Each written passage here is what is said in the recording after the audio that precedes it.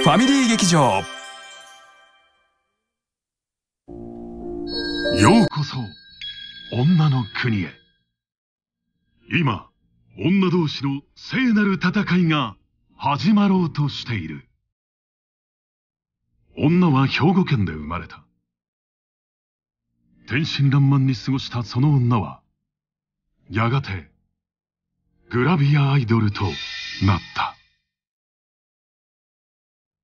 そして、プロレスラー腰中四郎と出会い、一緒にオリンピックを目指すことになった。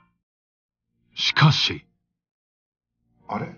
お前、切れたな、こら。切れてないです。今切れたじゃねえか、こら。切れてないですって。タコこら。コーチである腰中に、切れる女。その女に対して切れているのも、また女。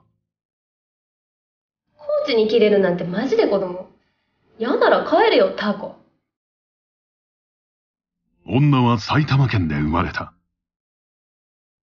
優しい家族からたくさんの愛情を注がれた女は、二十歳を超えても中学生にしか見えないアイドルへと成長した。そして出会ってしまった二人。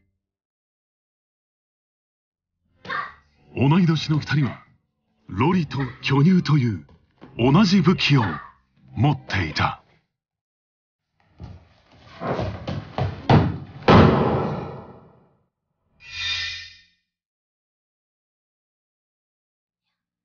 巡ってきたチャンスを生かさないなんて本当に意味がわからない。やる気がないんだったらやめればいいんですよ。女は青果店の娘として生まれた。元気で可愛いお店の看板娘。そんな女は26歳を過ぎてからグラビアを始めた。そして出会ってしまった二人。二人は親友だった。どこへ行くにも何をするのも一緒。だが、世界最強を目指す勝負の場に、そんなことは関係なかった。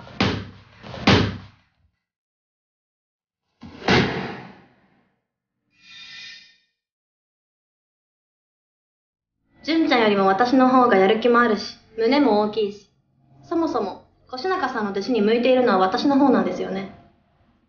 私は、あの、怒られて帰るとか、泣くってことはまずしないです。もう、ただただ、てっぺん目指して頑張って、やっぱり一緒に旅行に行ったことですかね。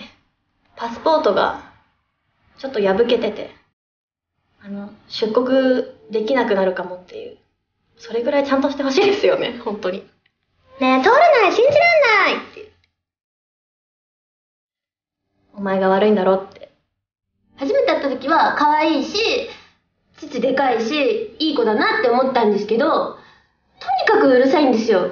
楽屋とかで静かにしなきゃいけないところでもずっと喋っててうるさいなって思って22歳で同い年なんですけど私の方が絶対大人だと思いました私の方が絶対大人純ちゃん、私と真剣勝負してください。私、やりますって。天木ファンの皆さん、目を覚ましてください。私、やりますって。腰中と共に世界最強を目指すのはどの女なのか女同士三者三様の人生出会うべくして出会ったのか？出会わなければよかったのか？のし上がるのはたった一人。女たちによる魂のぶつかり合いが今始まる。天城潤 VS 柳瀬咲長澤まりな。戦いのゴングは今鳴らされようとしている。滑るよ。ちょっとマリちゃん滑るよ。滑るって。滑るよ。マリちゃん滑るよ。